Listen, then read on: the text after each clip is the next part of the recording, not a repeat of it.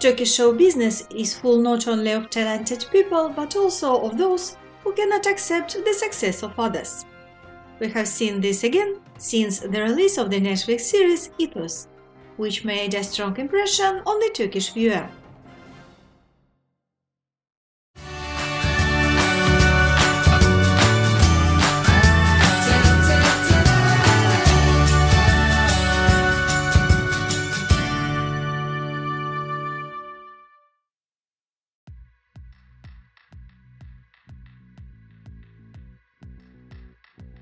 The series Ethos causes a lot of delight among Turkish Netflix subscribers and got into the top 10 popular projects in some countries.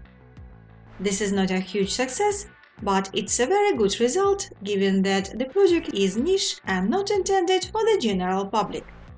Audiences particularly appreciate the performance of Öykü Karayel. Of course, there were also envious people. The actress of supporting roles, Nihal Yalçin, wrote that all these delights were exaggerated. Since when did viewers suddenly become critics? Suddenly, they became all the specialists in acting that even the stomach hurts. In such matters, the audience is simply ignorant. Don't show it so clearly. Note that Turkish TV shows are intended for viewers, and it's they who evaluate the quality of the product with their views and reactions on social networks. This is not a high art, inaccessible to the masses. Not surprisingly, the fans ridiculed the starlet, stating the obvious thing. She is just jealous of someone else's success. In fact, they quickly discovered the real reason for her anger.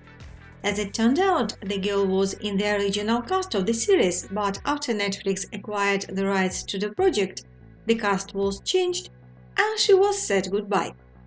Hence, not particular hidden resentment and envy, because the series turned out to be very successful. Alas, you have to be able to lose, not everyone can. Nihal didn't succeed. We'll follow the development of events. Stay tuned and don't forget to subscribe to our channel.